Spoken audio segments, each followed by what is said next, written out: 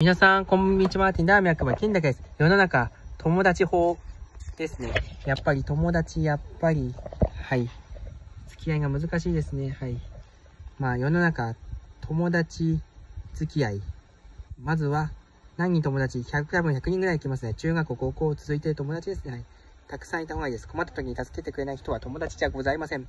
やっぱり新しい友達、とりあえず話せばいいです。とりあえず話せば。まず近くの人に挨拶することから始めましょう。相手選び。あとはコミュニケーション能力は前、前も言ってますが大事です。合図違うでは OK。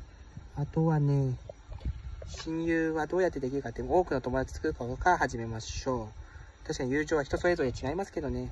喧嘩したら仲直り、何かをきっかけにつかむ。それが一番大事でございます。やはり悩みですね、はい。